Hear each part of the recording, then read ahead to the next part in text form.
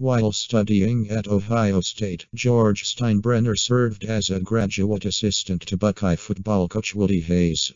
The Buckeyes were undefeated national champions that year and won the Rose Bowl. Steinbrenner served as an assistant football coach at Northwestern University in 1955 and at Purdue University from 1956 to 1957. Steinbrenner joined Kinsman Marine Transit Company in 1957, the Great Lakes shipping company that his great-grandfather Henry had purchased in 1901 from the Minch Transit Company, which was owned by a family relation, and renamed. Steinbrenner worked hard to successfully revitalize the company, which was suffering hardship during difficult market conditions. In its return to profitability, Kinsman emphasized grain shipments over ore.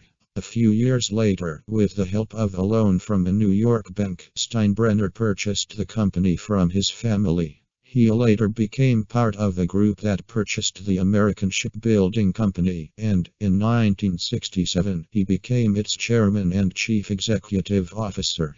By 1972, the company's gross sales were more than $100 million annually.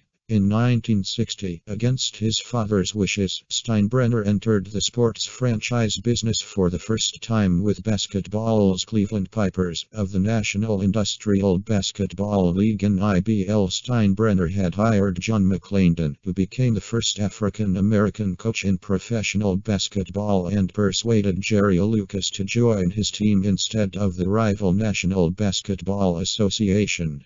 The Pipers switched leagues to the new professional ABL in 1961. The new circuit was founded by Abe Saperstein, owner of the Harlem Globetrotters. The league and its teams experienced financial problems, and McClendon resigned in protest halfway through the season. However, the Pipers had won the first half of the split season. Steinbrenner replaced McClendon with former Boston Celtics star Bill Sharman, and the Pipers won the ABL championship in 1961-62. The ABL folded in December 1962, just months into its second season. Steinbrenner and his partners lost significant money on the venture, but Steinbrenner paid off all of his creditors and partners over the next few years.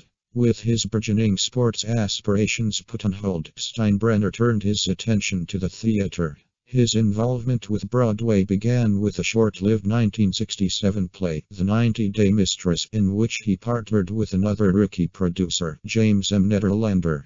Whereas Nederlander threw himself into his family's business full-time, Steinbrenner invested in a mere half-dozen shows, including the 1974 Tony Award nominee for Best Musical, Seesaw, and the 1988 Peter Allen flop, Legs Diamond.